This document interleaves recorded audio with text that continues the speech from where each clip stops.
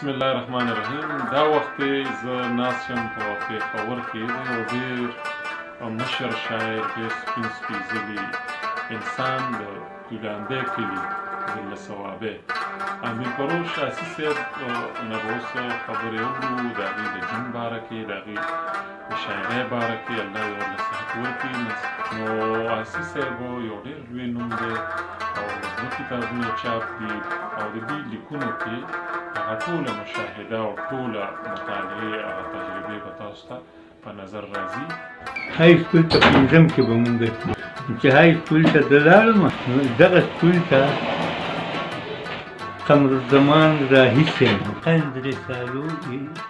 مثالي ایډي څه نو که تاسو چټک کتلي نو قند رساله کې په لومبورو ورځو کې په هغه د بعضې بعضې شعرونو په شاعرانو په هکله څه جمله لیکله په هغه جملو کې زما په هکله لیکلي دي امیر فروش آسی په عمر کچ په شعر پوخ او بیا دغه زمونږ د شاعرانو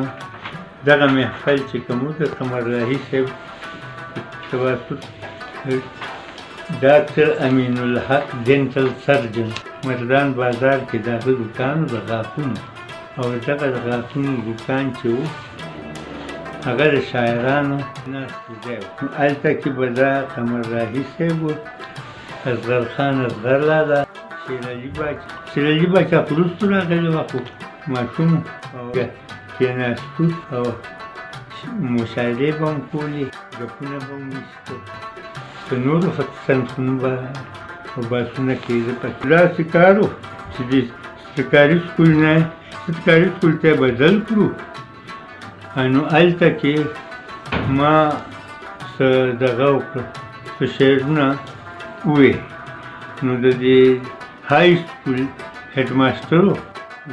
رحمان صاحب هغه څه چې پته ولګېده نو هغه راغی زما ملاقات ته نو ما ته خیر دغه کړو چې ایښي کرامات دي اور بل چې زیړ ګلونه نو دې باندې چې کوم تصویر لیکه ما ورته په هغه وخت کې څه شعرونه وي ما ته په پوره نه دي یاد چې هر څه مې ورته ووي خو هغې پر پسې ما چې کوم دی یو څو شعرونه ورته ووي هغه ډېر متاثر شو بیا په دغه ورځو کې د پاکستان لومبی سالګرام په های سکول کې هغې کې زه وغوښتم څنګه د هیډماسټر چې و د های سکول هغه هم د دې په غو و خو په هغه وخت کې کاناډا قیصر خان نوم هغه هم د دې په غو علاقې نو هغه دا اډر کړی و چې دې ډنډې ته به ډزې کړي هغې له که څوک وسله راوړي بې دغه هم بې لایسنس هم اجازه کوي معلوم تماچه راته غاړې ته دغه کړه هغه ګردنۍ خو یې هغې کې شپږ کالتوس هم دغه کړي او نوره ګردنه ټوله د دېرشو کالتوسو د غلو جنډې له لارو هغې ته مو چې کوم دی ډزې هم وکړې او ما چې شعرونه ما نو اوس هغه هېڅ دي نو په هغې ټول کې ما شعرونه ووې او په هغې کې هغې ما له پنځه روپۍ انعام راکړ روپۍ ډېر غټ شعر هغه تاندار صاحب